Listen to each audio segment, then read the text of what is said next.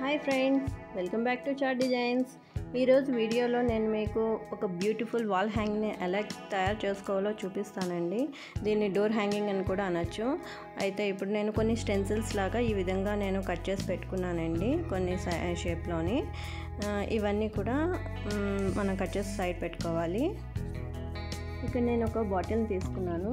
ఈ బాటిల్ని ఒక అంబ్రెల్లా షేప్ వచ్చేటట్టు నేను కట్ చేసుకుంటున్నానండి. ఈ విధంగా నేను రెండు టూ రెండు పీసెస్ని కట్ చేసుకుంటాను. ఇది కట్ చేసుకున్నాం కదా ఈ విధంగా. దీన్ని ఇప్పుడు మనం ఒక క్యాప్ ఏదైనా రౌండ్ షేప్ క్యాప్ ఉన్నది తీసుకొని ఈ విధంగా నేను షేప్ పెట్టుకుంటున్నాను. ఒక హాఫ్ సర్కిల్లా వచ్చేటట్టు.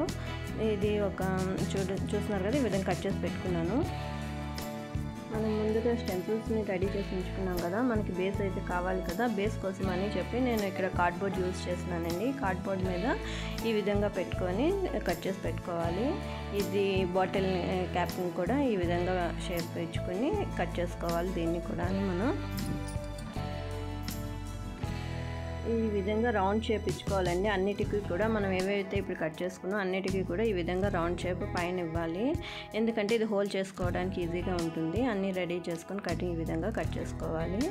కట్ చేసుకున్న తర్వాత ఇప్పుడు నేను ఈ బాటిల్ అయితే ఏదైతే కట్ చేసి ఉంచుకున్నామో దాన్ని అటాచ్ చేసుకోవడానికి కోసం అని చెప్పి ఇక్కడ నేను గ్లూ కన్ని యూస్ చేస్తూ గ్లూని అటాచ్ చేసుకుంటున్నానండి. చేసుకొని ఈ బాటిల్ని ఏదైతే షేప్ ఇచ్చుకున్నామో దాన్ని ఈ విధంగా యాడ్ చేసుకోవాలండి. ఇది డ్రై అయిన తర్వాత ఈ విధంగా ఉంటుంది. తర్వాత మనం హోల్ చేసుకోవడానికి కావాలన్నాను కదా ఒక షార్ప్ నైల్ తీసుకొని ఈ విధంగా అన్నిటికీ హోల్స్ పెట్టుకోవాలి. పెట్టుకున్న తర్వాత ఇక్కడ వైట్ సిమెంట్ తీసుకుంటున్నానండి నేను. వైట్ సిమెంట్ కొంచెం క్వాంటిటీలో తీసుకున్న తర్వాత ఇందులో కొంచెం వాటర్ యాడ్ చేసుకున్నాను. తర్వాత వచ్చేసి నేను గ్లూ యాడ్ చేసుకుంటున్నాను ఇక్కడ కొంచెం ఫెవికాల్ని. ఇదంతా కూడా బాగా మిక్స్ చేసుకోవాలి. ఈ మిక్షన్ రెడీ అయిన తర్వాత మనం ఈ విధంగా అప్లై చేసుకోవాలి. బేస్ అనేది స్ట్రాంగ్ అవ్వడం కోసమని ఇది నేను యూస్ చేస్తున్నాను అన్నిటికీ కూడా బేస్ స్ట్రాంగ్ అవ్వడం కోసం ఇది యాడ్ చేసుకోవాలి. అప్లై చేసిన తర్వాత ఈ విధంగా డ్రై అయిన తర్వాత ఈ విధంగా కనిపించేయండి. డ్రై అయిన తర్వాత నేను సెకండ్ కోట్ కోసం ఇది దీని మీద గణేష చేయడం కోసం అని నేను ఈ డిజైన్ చేస్తున్నానండి. ఇక్కడ నేను ఒక కోమ్ సహాయంతో ఈ విధంగా చేస్తున్నాను. ఇది మా పాప కోంబు ఆడుకునేవి ఉంటాయి కదా దాంతో మీ దగ్గర నార్మల్ కోమ్ గోమ్తో కూడా మీరు యూస్ చేయొచ్చండి. ఈ విధంగా నేను షేప్లో ఈ విధంగా వచ్చేటట్టు నేను పెట్టుకున్నాను. తర్వాత ఇక్కడ అంబ్రిల్లా కూడా నేను కిందన డౌన్ సైడ్ మాత్రమే నేను అప్లై చేస్తున్నానండి డబుల్ కోటు. ఎందుకంటే ఎక్కడ మనం డిజైన్ చేసుకుందాం అనుకుంటున్నామో అక్కడ మాత్రమే మనం అప్లై చేస్తే సరిపోతుంది.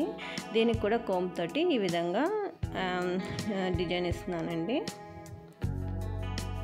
ఇక్కడైతే నేను గణేష రెడీ చేస్తున్నాను. దానికోసం నేను హోమ్ మేడ్ క్లే మన వీడియోలో నేను ప్రీవియస్ వీడియోలో నేను చూపించాను క్లే ఎలా చేసుకోవాలనేది. అది కనుక మీరు ఎవరైనా మిస్ అయితే కనుక ఒకసారి ఆ వీడియో లింక్ నేను డిస్క్రిప్షన్లో ఇస్తాను. ఒకసారి చెక్ చేయండి. చూస్తున్నారు కదా నేను ఇక్కడ గణేషాన్ని రెడీ చేస్తున్నాను. ఇది చాలా కష్టం అనుకుంటారు ఏం లేదండి. నేను చూపించిన విధంగా మీరు ఈ ప్రాసెస్లో కనుక చేస్తే గణేష చేయడం చాలా ఈజీగా ఉంటుందండి.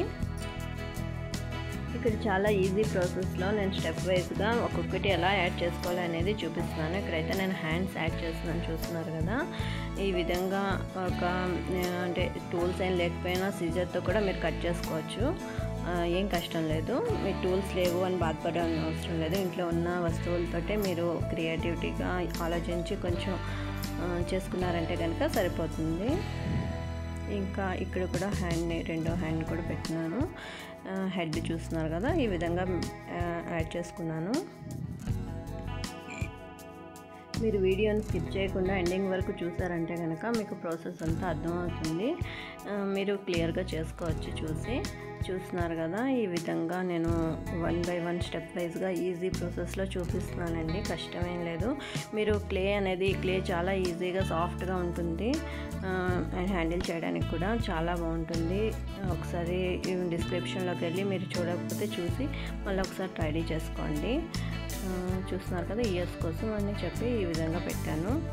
అలాగే కిరీటం కోసం ఈ విధంగా చేస్తున్నాను. నేను ఇప్పుడు ఏవైతే చూపిస్తున్నానో ఇవన్నీ కూడా నేను టూ టూ పీసెస్ని రెడీ చేసుకుంటున్నానండి. ఎందుకంటే నేను రెండు డోర్ హ్యాంగింగ్స్ కోసం అని చెప్పి నేను యూస్ చేస్తున్నాను. ఇది డోర్ హ్యాంగింగ్ అనే కాదండి. మీరు పూజా మందిరం దగ్గర పూజ గది దగ్గర అది ఎక్కడ పెట్టుకున్నా కూడా చాలా అందంగా ఉంటుంది. ఎందుకంటే ఫుల్ ట్రెడిషనల్గా చే రెడీ చేస్తున్నాను నేను దీన్ని.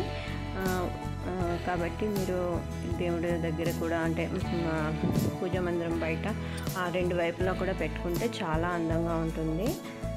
ఈ విధంగా నీడిల్స్ అంటే నీడిల్తో కూడా మీరు చేయొచ్చు. నా దగ్గర టూల్స్ ఉన్నాయి కాబట్టి నేను యూస్ చేస్తాను ఈ విధంగా.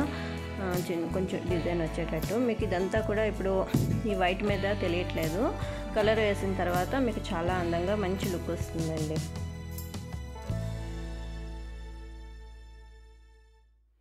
మన గణేష్ ఆల్మోస్ట్ రెడీ అయిపోయిందండి. ఇప్పుడు ఐస్ కూడా యాడ్ చేసుకున్నాను నేను. యాడ్ చేసుకున్న తర్వాత ఐ బాల్ని చిన్న చిన్నవిగా ఇలా పెట్టుకుంటూ యాడ్ చేసుకోవాలి. ఇక్కడ గణేష్ దగ్గర లడ్డు అంటే చాలా ఇష్టం కదండి. అందుకని నేను లడ్డు కూడా పెట్టాను. ఈ విధంగా నేను లడ్డూలా అంటే చిన్న బాల్లా చేసి హ్యాండ్లో పెట్టాను. ఇక్కడ నేను గ్లూ అప్ చే అప్లై చేసుకొని ఈ క్లేని నేను రోప్ లాగా సన్నగా చేసుకొని ఈ విధంగా సైడ్ బార్డర్ లాగా ఇచ్చుకొని ఈ ఈ టూల్ సహాయంతో కొంచెం డిజైన్ ఇస్తున్నాను. తర్వాత అంబ్రెల్లాకి కూడా నేను ఇదే విధంగా రోప్లా చేసుకొని క్లేని ఈ విధంగా యాడ్ చేసుకుంటున్నాను. ఎక్స్ట్రా లుక్ కోసం ఇదంతాను. ఈ విధంగా అంతా రెడీ చేసుకోవాలండి. చూస్తున్నారు కదా ఇక్కడ నేను ఇక్కడ కూడా యాడ్ చేసుకున్నాను. ఈ విధంగా వచ్చేటట్టు అంబ్రెల్లా షేప్ వచ్చేటట్టు. ఒకసారి మీరు వైట్ సిమెంట్ వేసిన తర్వాత కూడా మీరు ఒకసారి నెయిల్ తోటి ఇలా పెట్టుకుంటే సరిపోతుంది. ఇక్కడ నేను డ్రా చేసుకుంటున్నాను మళ్ళాను. చేసుకున్న తర్వాత ఈ విధంగా మళ్ళా కొంచెం కొంచెం క్లే తీసుకొని ఎక్కడెక్కడ మనం డ్రా చేసి పెట్టుకున్నామో అదంతా కూడా ఫిల్ చేసుకోవాలి. ఈ విధంగా క్లేతో. ఇప్పుడు ఈ లోటస్ అంతా కూడా మనం ఎక్కడెక్కడ పెట్టుకున్నామో అదంతా కూడా క్లే తోటి ఈ విధంగా యాడ్ చేసుకొని క్లేని ఫినిష్ చేసుకోవాలండి. అన్నీ కూడా నేను టూ పీసెస్ని చేస్తున్నాను. నేను చూపించడం అయితే ఒక పీసే చూపిస్తున్నాను. మీకు అర్థం కావాలని నేనైతే రెండు టూ పీసెస్ని రెడీ చేసుకుంటున్నాను అన్నీ కూడా. తర్వాత ఇక్కడ ఎలిఫెంట్కి మనం స్ట్రక్చర్ అంటూ ఆల్రెడీ చేసాం కదా. దానికి ఈ విధంగా అంటే అవుట్ అవుట్లైన్ ముందు పెట్టుకుంటున్నాను. పెట్టుకున్న తర్వాత ఇంకా ఈ ఎలిఫెంట్ కొంచెం ఇంకా బాగా ఎక్స్ట్రా లుక్ తోటి అందంగా కనిపించాలని నేను ఇంకా ఇవంతా కూడా యాడ్ చేసుకుంటూ ఇక్కడ ఒక రౌండ్ షేప్లోని ఒక డిజైన్ చేసుకుంటున్నాను. ఒక క్లాత్ వేసేటట్టు ఉంటుంది ఆ లుక్. ఆ విధంగా వచ్చేటట్టు నేను ఇది చేస్తున్నానండి. ఇక్కడ ఇయర్ని యాడ్ చేసుకున్నాను. చెవులు కొంచెం పెద్దగానే ఉంటాయి కదా ఎలిఫెంట్కి. ఈ విధంగా చేసుకున్నానండి. దీనికి కూడా ఇలా రోప్లా పెట్టుకొని చుట్టూ కూడా దీనికి కూడా కొంచెం డిజైన్లా ఇస్తే దాని అది లుక్ బాగుంటుంది.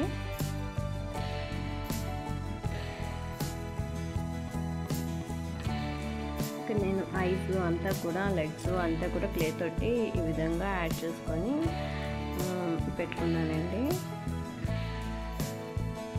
ఇక్కడ నేను వచ్చేసి ఏమంటారు? బీట్స్ కోసం అని చెప్పి ఈ విధంగా కట్ ఈవెన్గా అన్నీ కట్ చేసుకొని ఈ విధంగా బాల్స్లా చేసుకున్న తర్వాత హోల్ కావాలి కదండి బీట్స్ ఎక్కించుకోవడానికి కోసం అందుకని నేను ఇటువంటి ఒక ఇటువంటి పుల్ల లాంటిది ఏదైనా తీసుకొని హోల్స్ పెట్టుకున్నాను. తర్వాత పెన్ను రీఫిల్ లేని పెన్ ఏదైనా చూసి ఈ విధంగా కొంచెం డిజైన్ పెట్టుకున్నానండి. బాల్స్ కూడా రెడీ చేసి పెట్టుకున్నాను. అన్నీ కూడా రెడీ అయిన తర్వాత ఈ విధంగా ఉన్నాయి. చెప్పాను కదా టూ టూ పీసెస్ రెడీ చేసుకున్నానని. ఈ విధంగా రెడీ అయ్యండి ఇప్పుడు మనం కలర్ వేసుకుందాం వీటన్నిటికీ. నేను బ్లాక్ కలర్ వేస్తున్నానండి అన్నిటికీ ఫస్ట్. మనం ఏవైతే రెడీ చేసి పెట్టుకున్నామో అన్నిటికీ కూడా నేను ఈ విధంగా బ్లాక్ కలర్ ముందు అప్లై చేసుకున్నానండి. ఇది ఆప్షనల్ అండి. బ్లాక్ కలర్ అంటే వైట్ మీద ఏదైనా వేస్తే ట్రాన్స్పరెంట్గా ఉంటుందని నేను బ్లాక్ యాడ్ చేశాను. తర్వాత ఇక్కడ గో లోటస్కి గోల్డ్ యాడ్ చేశాను. తర్వాత చూస్తున్నారు కదా ఈ విధంగా అన్నీ కూడా కలర్స్ ఈ విధంగా మీకు నచ్చిన కలర్స్ యూస్ చేసుకోవచ్చు. నేనైతే ఈ విధంగా రెడీ చేసి పెట్టుకున్నానండి. అన్ని కలర్స్ వేసుకొని ఈ బాల్స్ కూడా అదే బీట్స్ కూడా నేను ఈ విధంగా చేసుకున్నాను. ఇటువంటి బెల్ ఒకటి తీసుకున్నానండి. దానికి ముందు బ్లాక్ కలర్ వేసుకున్నాను. తర్వాత గోల్డ్ పెయింట్ చేసుకున్నాను. యాంటిక్ లుక్ రావడం కోసం అని చెప్పి. ఇప్పుడైతే మనం ఈ విధంగా యాడ్ చేసుకోవాలి అన్నిటికీ. తర్వాత ఇక్కడ నేను కొన్ని చిప్స్ తీసుకుంటున్నానండి. ఇది నేను గ్లూ తోటి అప్లై చేసుకుంటున్నాను. ఇటువంటివి కొంచెం ఎక్స్ట్రా లుక్ కోసం. ఇది నా ఐడియాతోటి ఈ విధంగా చేస్తున్నానండి. ఇది మీకు నచ్చినట్టు ఇంకే వేరేగా కూడా డిజైన్ చేసుకోవచ్చు. ఇక్కడ గణేష్ జుట్టు కూడా నేను ఈ చిప్స్ని యాడ్ చేస్తున్నానండి. కొంచెం ఎక్స్ట్రా లుక్ రావడం కోసం అని చెప్పి. అంబ్రెల్లా కూడా ఈ విధంగా యాడ్ చేసుకున్నానండి అంతా. ఇక్కడ కొన్ని బాల్స్ తీసుకుంటున్నాను. ఇవి యాడ్ చేసుకోవడం కోసం జాయింట్ కోసం ఇవంతా మధ్యలో పెట్టుకోవడానికి రోప్ తీసుకున్నాను ఇటువంటిది. ఈ రోప్ తీసుకున్న తర్వాత ఇక్కడ పైన స్టార్టింగ్ ఇది మెయిన్ పెడుతున్నానండి టాప్లోని. అందుకోసం అని ఈ పెట్టి ఈ విధంగా నాట్ వేసుకోవాలి. నాట్ వేసుకున్న తర్వాత మనం కొన్ని బీట్స్ దీంట్లోని గుచ్చుకొని మనం నాట్ రెడీ చేసి పెట్టుకున్నాం అంటే హ్యాంగ్ చేసుకోవడానికి ఈజీగా ఉంటుందండి. లుక్ కూడా బాగుంటుంది. నేను ఇక్కడ మల్టీ కలర్ బీడ్స్ యూస్ చేస్తున్నానండి. ఇలా అన్నీ తీసుకోవాలని ఏం లేదు. నాకు అంటే ఏ చేతికి వస్తే అవి మల్టీ కలర్లో పెట్టుకున్నాను అంతేను.